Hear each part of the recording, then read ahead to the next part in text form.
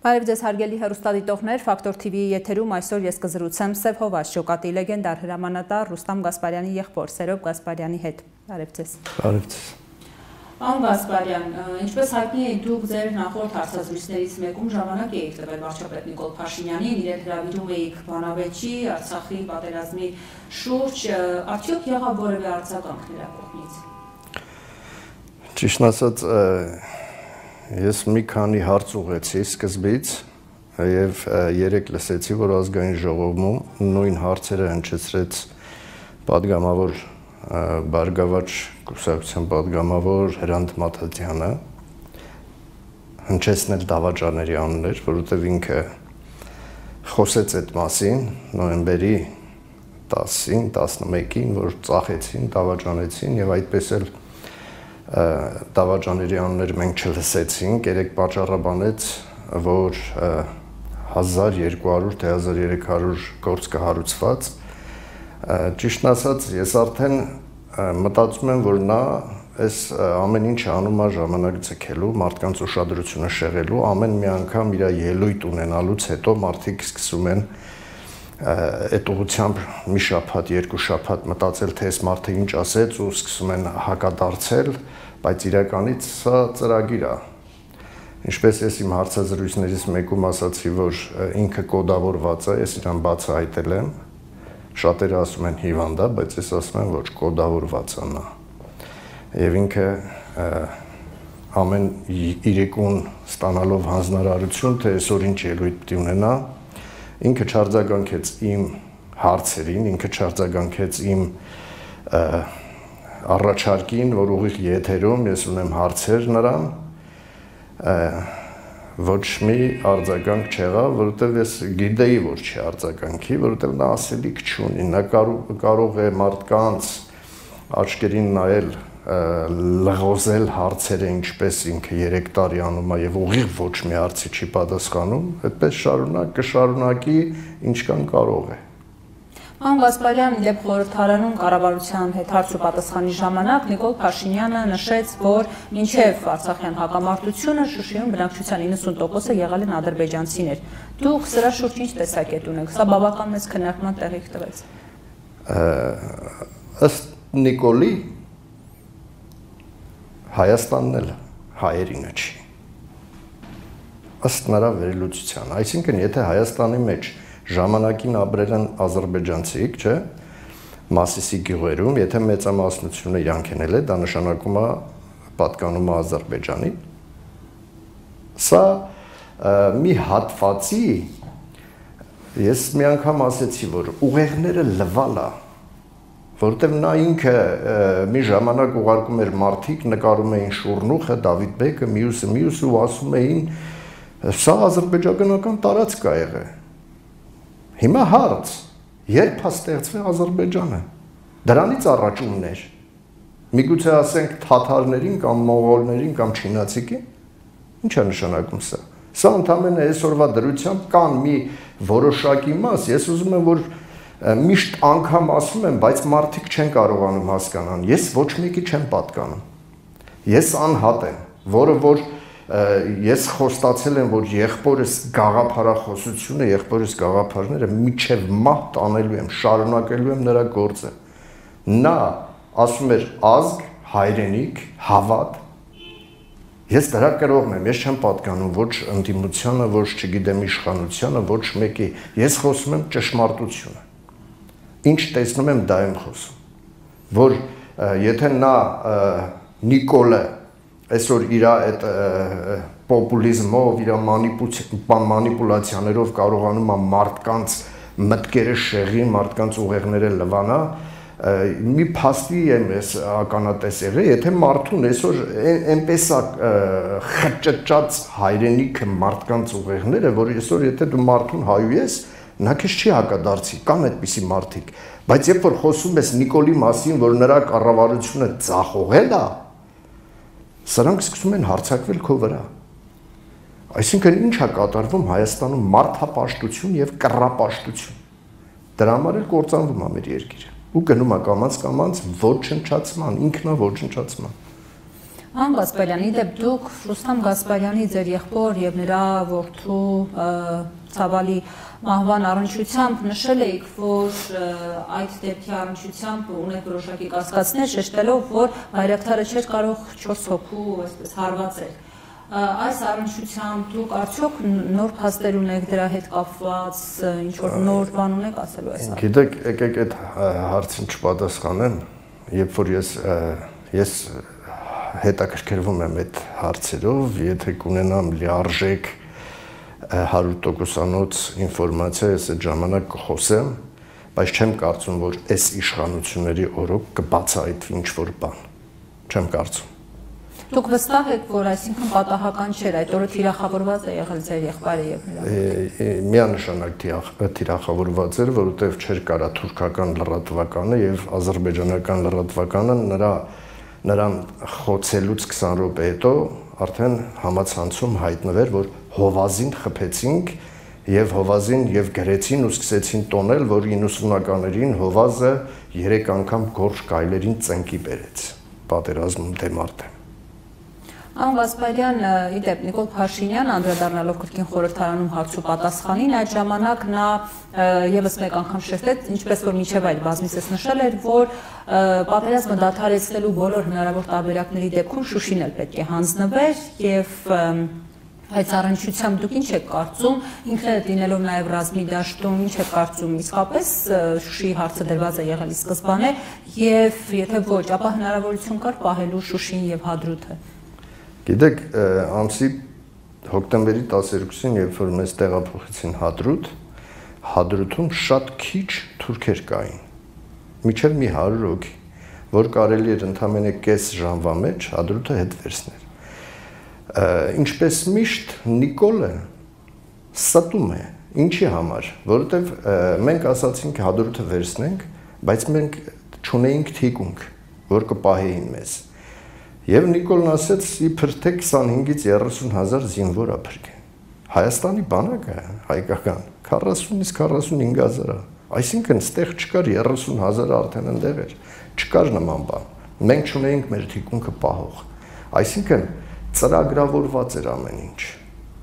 ծրագրավորված ես գիշերով նորից եմ ասում մի քանի անգամ ասել եմ գիշերվա ժամը 10-ից 10:30 երբ որ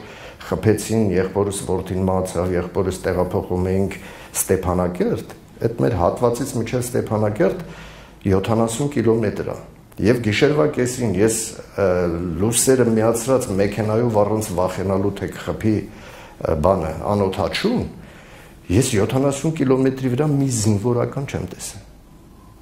Ոչ մի զինվորական եւ 70 կիլոմետր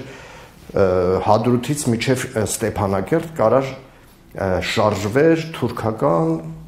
մեքենաները առանց որևէ խոչընդոտի։ Այսինքն բաց էր արդեն։ Հադրութում, թիկունքում ինչու չկային մարդիկ, այսինքն դա ինչու էր պայմանավորված։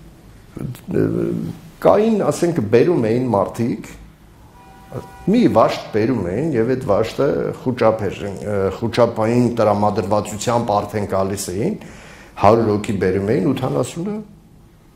մեժամ հետո չկային 20-ը մնում էին 80-ը հետ էին գնում այս վիճակն էր, որովհետև խոճապ էր ստեղծվել, որ անօթաչուները խփում են, հնարավոր չի դեմը առնել, հնարավոր չի, այդ խոճապը արդեն ստեղից ստեղծված գալիս է։ Դուք ինչու եք պայմանավորում եւ շեշտում, որ հենց Փաշինյանի մեղավորությունը դրան։ Գիտեք ինչ, եթե Գերագույն գլխավոր հրամանատարը ինքն է, եղե, նա պիտի կազմակերպեր ամեն ինչ։ Եթե նրա նշանակած ինչպես հիմա ես մի բան եմ ուզում ասեմ, որ տեսեք, իրա գալուց հետո մենք սկսեցինք կորցնել տնտեսություն, քայքայվեց ամբողջ տնտեսությունը, բանակը։ Եթե իրա նշանակած կադրերը չեն տիրապետում, չեն կարողանում կազմակերպել, դա նշանակում է մեղավորը ինքն է։ Եթե մարզպետը մի մարզում չի կարողանում աշխատի, Մարսպետ ինչ են հայում, հայում են նշանակողին, որովհետև ինքը չի հասկանում ումն է։ Օրինակ բերեմ, մեր մարզում մեր մարզում կա մի գյուղ, որը ունի արդեն մի տարի երկու գյուղապետ, երկու կնիկ, երկուսն էլ աշխատող։ Սա ի՞նչ է։ Եթե ոչ ամ, չգիտեմ, անկառավարելի վիճակ, որ չեն հասկանում ինչ են անում։ Եվ նա չհասկացավ, երբ որ ինքը ասում էր, որ ով է կասկածում իմ գերագույն հրամանատարի ունակությունների վրա։ Նա ասում էր, չէ՞, միջև պատերազմը։ Բա ինչ եղավ։ Հոց ցնդեց։ Այսինքն ամբողջ ազգը տեսավ, որ դու ունակ չես։ Ես չեմ զարմանա, որ հիմա 20 թվի տնտեսական աճ կասեն կարձանագրեն, որ տնտեսական աճ ունենք։ Եվ այդ տնտեսական աճը պայմանավորված կլինի 8000 դագաղ սարքելով 21 թվի եւ 20 20 թվին եւ 21 թվին կարձանագրեն տապանակարերի աճ։ Տնտեսական աճ ունենք, տապանակարեր սարքեցինք։ Նրանցից ամեն ինչ սпасելի է։ Հոն Գասպարյան, մինչդեռ տեսնում ենք, որ Փաշինյանը շեշտում է, որ ինքն է գլխավոր պատասխանատուն, բայց ինքը չէ գլխավոր մեղավորը։ Այսինքն հերքում է այն բոլոր հաստատները եւ տեսակետները, որ ինքն է մեղավոր։ Այս մասով ինչ կասեք։ Գիտեք, ինչ է նշանակում պատասխանատուն ես եմ։ Եթե դու պատասխանատուն ես, նշանակում է դու պետք է կրես պատասխանատվություն։ Քո մեղքի բաժինը ո՞րն է։ Նա ասում է ես մեղավոր չեմ Ճիշտ է, ես եմ, եթե դու միտեղ պահակ ես նշանակված եւ այդ պայեստից թալան ա եղել, ով առաջի պատասխանատուն։ Եվ ումն են առաջինը կանչում պատասխանատվության պահակին։ Այսօր ինքը պահակն էր մեր սահմանների, մեր Հայաստանի Հանրապետության պահակն էր, անվտանգությունը թե ներքին, թե արտաքին։ Եթե դու տանուլ ես տվեք, գողացել են քեզանից։ Գողացել են մեր հայրենիքը, գողացել են մեր երեխաներին։ Ինչի համար այսօր իմ եղբայրս իմ եղբորս ворթին հողի տակ լինեն, բայց նրա երեխաները Մոսկվաներում ռեստորաներ վայելեն։ Ինչի համար։ Եվ 5000-ից ավել երեխաներ, որոնք պետք է նոր ամուսնանային, երեխաներ ունենային, ազգը բազմանար, այսօր հողի տակ են, բայց նա իր երեխաների հետ ամբողջ օրը քեֆերի մեջ է։ Ինչ է սա նշանակում։ Բա ոնց հիմա մենք չպայթի մեր սրտերը, որ տեսնում ենք խիխի խախանելով ռեստորաներում 1000 քանի 100 դոլարնոց գինիներ են խմում, չգիտեմ ինչեր են անում։ Ո՞վ է սրա մեղավորը։ Մենք, ես, դուք, ժողովուրդը, որ հանդուրժում ենք նման մեկի։ Ով պատրաստ է ամեն ինչ անելու, գիտեք ինչ։ Ես մի բան էլ ասեմ, որ արդեն մի քանի ամիս է մենք խոսում ենք դավաճանության մասին, բայց դավաճան չկա չեն գտնում այդ դավաճանին։ Դե ուզում եի հարցնել, դուք տեսել եք ռազմի դաշտում դավաճան։ Արեք թողեմ, չէ, ես չեմ տեսել։ Ես չեմ տեսել։ Օրինակ հրամանատար որը լքում է դիրքը զինվորներին թողնում կամ այն կրծևորում։ Մենք ունեցել ենք հրամանատար Ռուստամ Գասպարյան, որ զորքի առաջից էր կանգնում ինքը։ Եվ իր մահով ու իր որդու մահով, մեկ էլ մեր շատ սիրելի բժշկի մահով 150 կյանքեր փրկվեց։ Որ արդեն մեզ շրջապատում էին թուրքերը, երբ որ իրանց խփեցին, արդեն այդ տեղից բացահայտվեց թուրքերի վերև բարձրանալը։ Ես այդպիսի դավաճանություն չեմ տեսել, ես տեսել եմ անկազմակերպ այն բարդակ վիճակը, որ ոչ կապի միջոց կա, ոչ նորմալ զենք կա։ Ինքը ասում էր, պայստներում զենքը լիքն են։ Ստում է։ Զենքի պայստները հենց առաջի օրը պայթեցրել էին արդեն։ Երևի դավաճաների հայտնած տեղանքը, որ հայտնել էին, թե որտեղ է մեր զինանոցները, առաջ հենց առաջի պատերազմի առաջի օրն էին պայթեցրել։ Այդ դեպքում 44 օր ինչպես հաջողվեց Մարտենչել տղաներին ասես։ Գիտեք, եթե ես մի քանի անգամ ասել եմ, եթե մենք դիրքերից զենքեր ենք գտնում, այդ զենքերով կռվում ենք։ Մենք դիրքերից գտնում էինք այն տեսակ զենքեր, որ բավականին թանկ արժեք ունեն եւ այդ զենքերով էին կռվում։ Դուք կարծում եք, որ Փաշինյանի փաստարկները բոլոր դեպքերում ընդունելի չեն, երբ ասում է նաեւ իշխողժիտալ ներկայացուցիչներ, որ փորձել ենք պայքարել հանուն Արցախի, սակայն չստացվեց, բարթվեցինք։ Փաշինյանը զրոյից սկսեց դիվանագիտությունը, չէ, ասեց, որ ես իմ զրոյից եմ սկսելու այն ինչ որ ինքն էր հասկանում, թե ինչ պիտի անի եւ նրա զրոյի արդյունքում բերեց հայրենիքի կորուստ։ Եվ նա այս պատերազմից հետո ասես տվեք ինձ 6 ամիս ժամանակ, կամ ասենք ամանորյա ելույթին նորից զրոյից սկսելու մասին, նրա բոլոր ելույթները Նրա բոլոր զրույցները վերցրեք, նայեք ամբողջ իր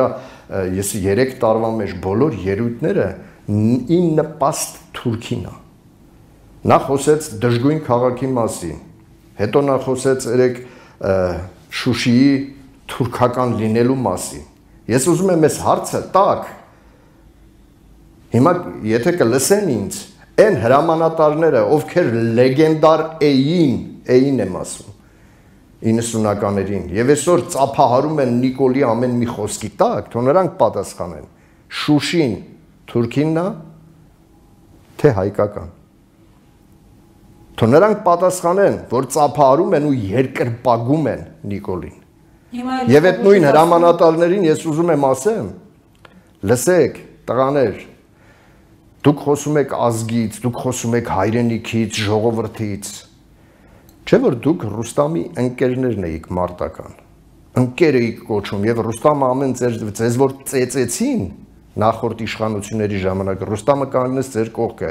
բայց դուք խոսում եք ժողովրդից ու հայրենիքից, Ռուստամի գերեզմանը անգամ չեք այցելել դուք։ Եվ ընկեր եք կոչվում։ Չի կարա նման բան լինի թող ժողովուրդ իմանան, երբ որ դուք ծափարում եք ու խոսում եք հայրենիքից ու ժողովրդից, դուք ձեր ընկերոջը չսիրեցիք, դուք չեք կարա նաև ժողովրդին սիրեք։ Հիմա իշխողուժից ասում են, որ մանիպուլացվել է վարչապետի խոսքը, նա դա նկատի չուներ իր ելույթում խորհրդարանում։ Ինչպես արձագանքեց Ադրբեջանը, երևի տեղյակ կլինեք, ծափարեցին Նիկոլին։ Ծափարեցին ինչպես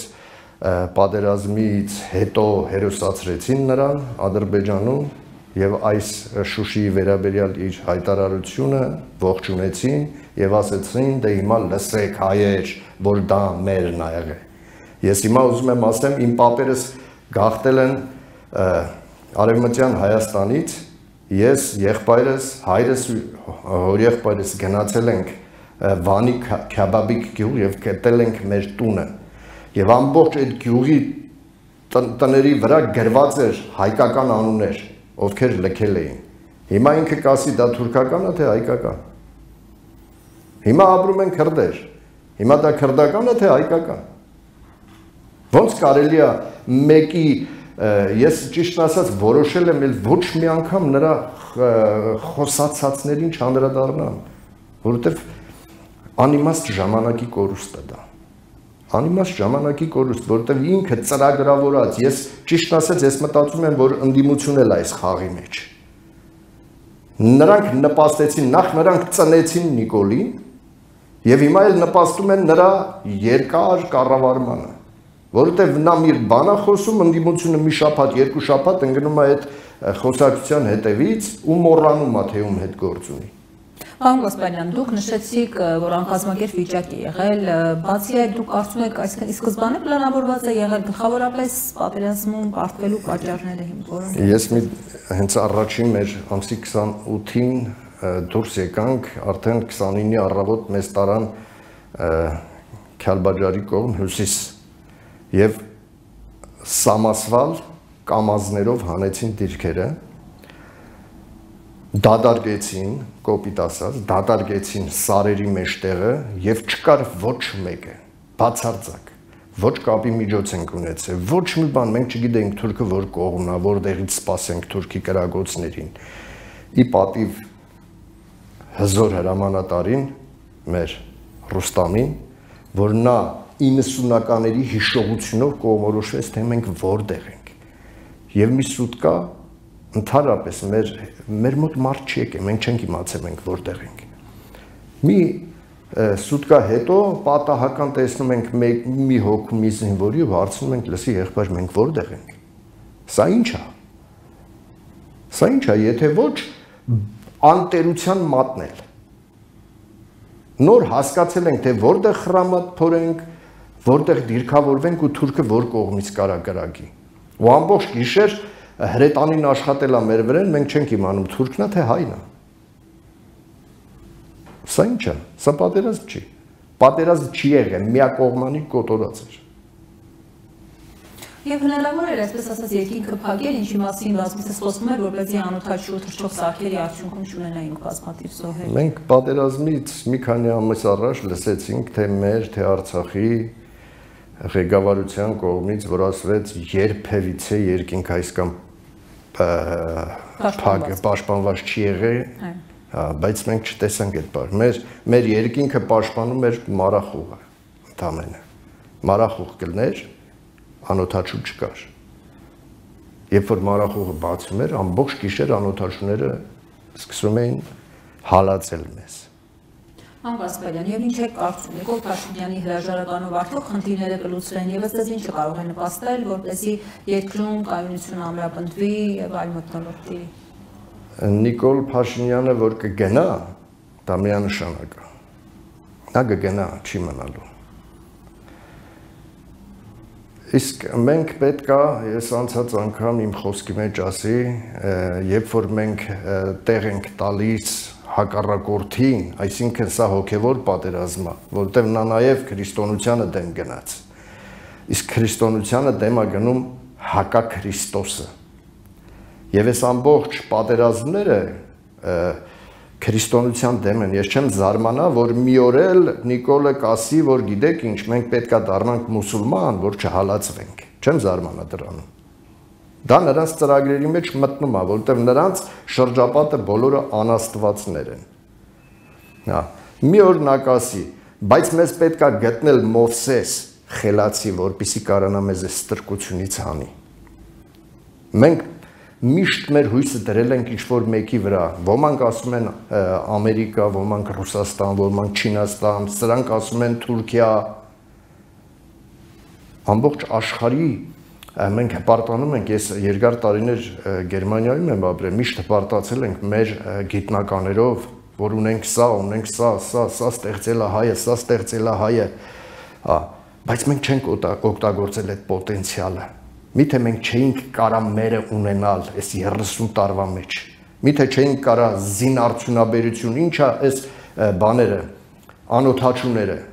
Մեր գիտնականները կարող էին այնպիսի զենքեր արտադրել, որ են հյուսային Կորեայի նման ոչ ոք չկարանար մեզ անգամ թարս նայել։ Կարայինք, բայց չարեցինք։ Դրա համար ես մեղադրում եմ 90-ականներից սկսած բոլորին, բոլորին, որ չօգտագործեցինք մեր պոտենցիալը, չօգտագործեցինք մեր հայի գաղափարը, հայի գենը չօգտագործեցինք։ Իսկ եկան սրանք ոչնչացնելու այդ գենը։ Համբասպարյան, դուք ինչ եք ասում, այլ հրամանատարների, գեներալների շրջանում արդյոք պատերազմի ընթացքում պատշաճ է եղել մոտեցումը այդ իրավիճակին համահունչ է, այսինքն եղել եւ նաեւ տեսանք, որ պատերազմի ընթացքում նաեւ Ջալալ Հարությունյանը վիրավորվեց։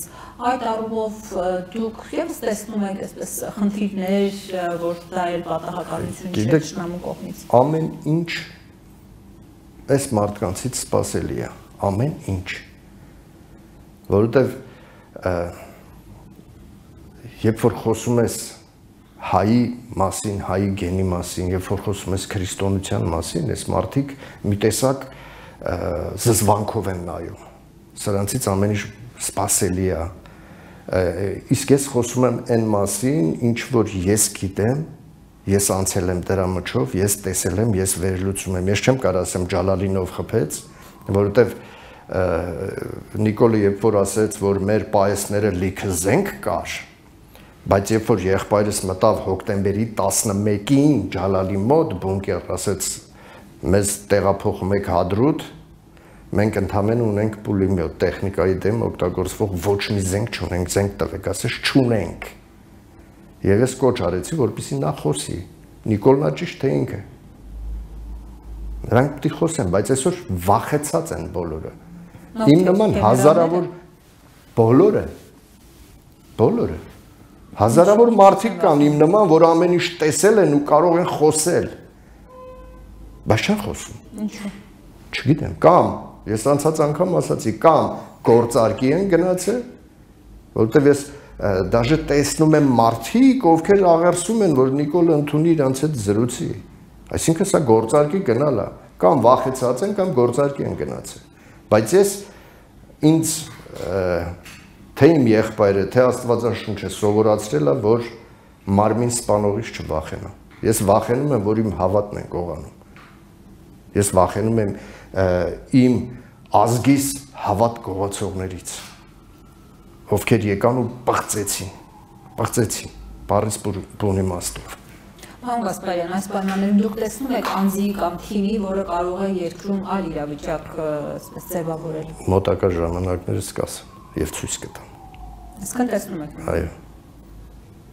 Շնորհակալ եմ զրույցի համար։ Խնդրեմ ես եմ շնորհակալ։ Արգելի հերոստատիտողներ հիշեցնեմ, Ֆակտոր TV-ի եթերում զրուցում է լեգենդար Սերգո Վազճոկատի հրամանատար Ռուստամ Գասպարյանի եղբայր Սերո Գասպարյանի հետ։